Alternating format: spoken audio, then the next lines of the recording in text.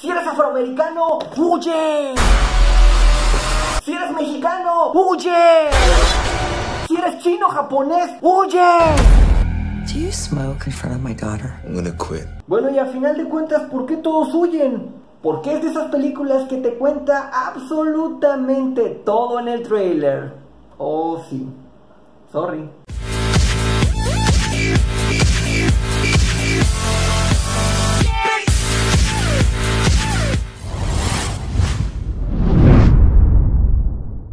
Cyber Souls y amigos, ¿cómo están? Yo soy Nes y les traigo una nueva review de cine el día de hoy. Nada más y nada menos que Huye, una película de Jordan Peele. Esta película, bueno, pues es una ópera prima. Este cuate hace algunos sketch cómicos, ha hecho también guiones para algunas series y también algunas películas.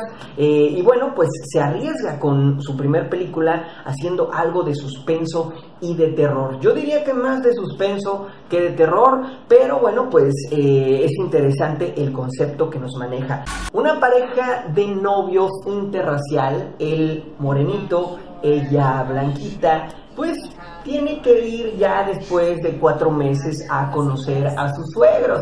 Entonces esta chica le dice, oye, ¿sabes qué? Vamos a conocer a mis papás, vamos a ir a la ciudad, es una ciudad pequeña.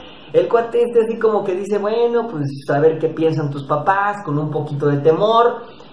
Llega justamente a este lugar, eh, es un poco extraño, las personas que los atienden pues son eh, morenos, son afroamericanos, y bueno, pues ahí como que piensa que hay un choque, ¿no? Pero de repente se va dando cuenta que son demasiado condescendientes con él y que incluso alaban a su raza, así es. Y ahí es cuando empieza a él a notar cosas muy extrañas, el protagonista, y bueno, pues se queda así como que, ah, caray, ¿y por qué son demasiado condescendientes conmigo? Y de repente, bueno, pues empiezan a actuar un poco extraños sus colegas también afroamericanos. So look, I go do my research. Apparently, a whole bunch of brothers been missing in this suburb. But it's cool. Bro, how you not scared of this, man?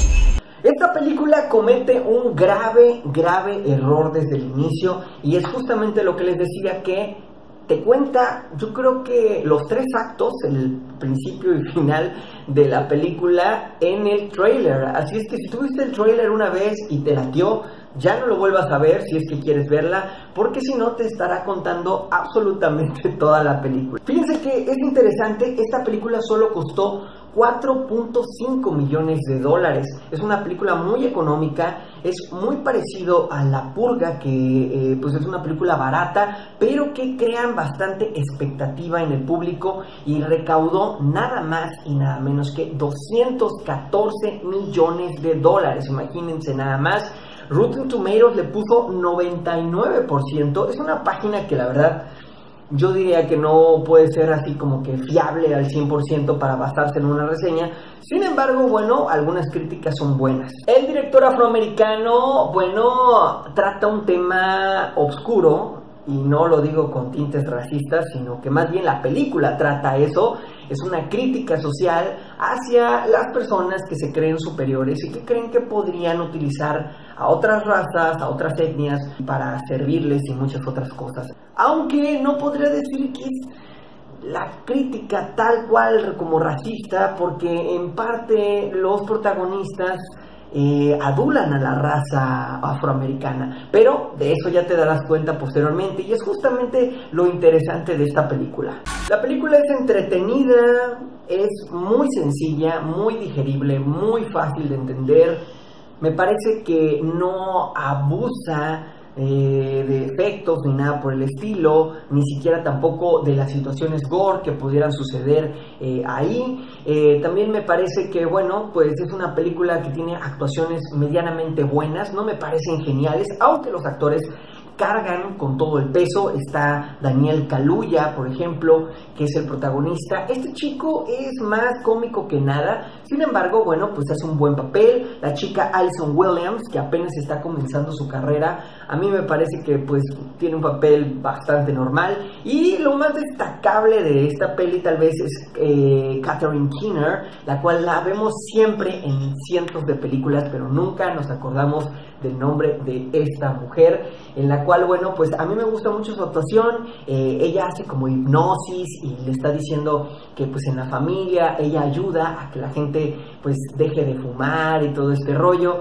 y bueno, pues ya se imaginarán por dónde va todo este rollo, en donde, bueno, pues ahí justamente desde el trailer lo pueden ver, los afroamericanos parecen una especie de zombies, entonces, bueno, si ustedes ponen un poquito de cabos, sabrán de qué trata, pero no completamente.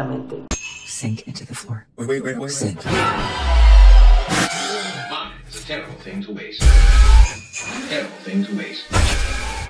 Fíjense que siento que le faltó contexto, que le faltó ahí una parte medular, no sé, en el guion, algo más interesante. Y aquí voy a irme a una zona de spoilers. Voy a poner aquí spoiler para que ustedes, bueno, si quieren, le pueden adelantar al video. Cuando termine los spoilers, le voy a quitar la banda. Me parece que le faltó un poquito de más, más contexto a la, a la, a la obra, al guion. Eh, siento yo que fue muy, pero muy sencillo. No sé, la verdad, por qué Rotten Tomatoes le puso 99. Me parece una cantidad estratosférica para lo que fue. Eh, me parece una mejor película voraz, que realmente tiene un mejor guion, más creíble. Esta película tiene hasta tintes cómicos y, bueno, quedan bastante bien. Es, como les digo, es entretenida, pero mm, hay una parte en donde se supone que están mostrando el origen de una orden, de una supuesta orden que pues rapta a, la raza eh, afroamericana y bueno, se adueña de ella para después pues crear otro cuerpo de otra persona fallecida, ¿no? O, o como un trasplante de cerebro. Entonces, ahí me hubiera gustado saber más qué onda con este contexto, qué onda con la historia, eh, de dónde viene todo este rollo, no sé, no sé, fue, eh, eh, era algo muy torcido, era algo muy maquiavélico, donde él está sentado justamente frente a un televisor y le empiezan a explicar esto, pero termina muy rápido ese rollo y el cuate, bueno, pues se empieza a zafar ya y, encuentra una manera de evitar la hipnosis. Y de repente cuando se empieza a poner buena la película, cuando yo pienso que toda la villa que está ahí, no sé, ese pueblo se va a revelar, algo va a suceder en el camino, no sé, llega su amigo en una patrulla y la película termina. Sí, la película simplemente termina. Por esa y más razones le voy a poner a esta película una calificación de 6.5. 6.5 para Huye.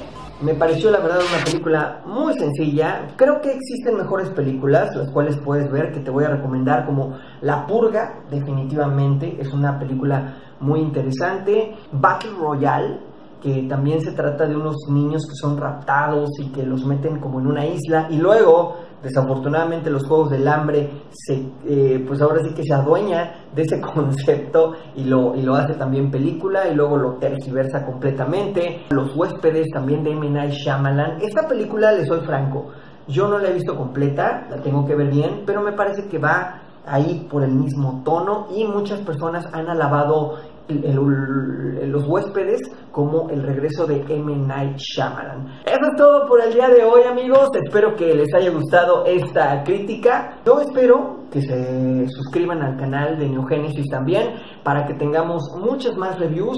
¿Qué les gustaría que hiciéramos en el canal? Me gustaría también eso saberlo. Si les gustan los top 5, si les gustan más información de videojuegos, si quieren que tratemos otro tipo de películas también, bueno, sería bueno que me lo hicieran saber y su opinión. Si ustedes ya vieron Huye, ¿qué onda? ¿Qué les pareció? ¿Realmente les pareció buena? ¿Les pareció mala? Recomiéndenme alguna película también, estaría muy chido, así muy parecida. Me gusta más o menos ese tinte de películas, pero con más contexto. Entonces, si saben de alguna, pues recomiéndenmela ahí en los comentarios, ¿sale? Suscríbanse al canal, activen la campanita, no se les olvide, les dejo más videos por acá. Y yo soy Nes y nos vemos en el próximo review.